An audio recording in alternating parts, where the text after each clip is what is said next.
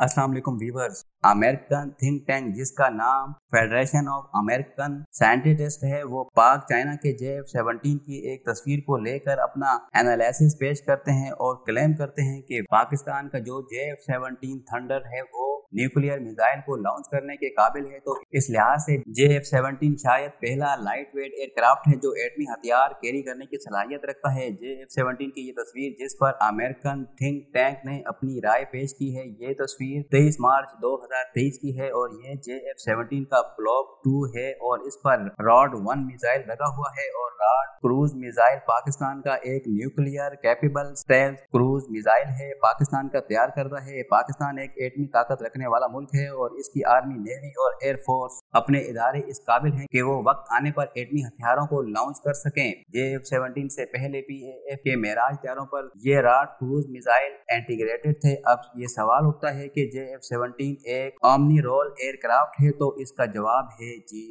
ہاں۔ جیٹس عام طور پر ملٹی رول ایئر کرافٹ ہوتے ہیں یعنی یہ جیٹس ایک وقت میں ایک سے زیادہ کام کر سکتے ہیں یعنی ایک ہی وقت میں bombing, firing, air to air operation وغیرہ۔ اومنی رول ایئر کرافٹ وہ ہوتے ہیں جو ملٹی رول جیٹ سے ایک اسٹیپ آگے ہوں اور نیوکلیئر ویپن کیری کر سکیں۔ فرانس کا یہ کہنا ہے کہ ان کا رافیل ایک اومنی رول جیٹ ہے۔ ایک اور سوال ذہن میں آتا ہے کہ جے ایف سیونٹین اور رافیل میں سے کون سپیریئر ہے دیکھا جائے تو نیوکلیئر ویپنز کیری کرنے تک تو دو سیم ہیں۔ جے ایف سیونٹین ایک لائٹ ویٹ ایئر کرافٹ ہے۔ یہ ہر قسم کے خطرات کا سامنا کرنے کے لیے نہیں، یہ ایئر سپیریئرٹی جیسے مشن نہیں کر سکتا، اس کے لیے جے ٹین سی بہتر ہے، جبکہ رافیل ایئر سپیریئرٹی جیسے مشن کر سکتا ہے۔ ویڈیو پسند آئی ہو تو شیئر ضرور کیجیے گا۔ اپنا خیال رکھیں۔ ہم ملیں گے اگلی ویڈیو میں۔ تب تک کے لیے اللہ حافظ۔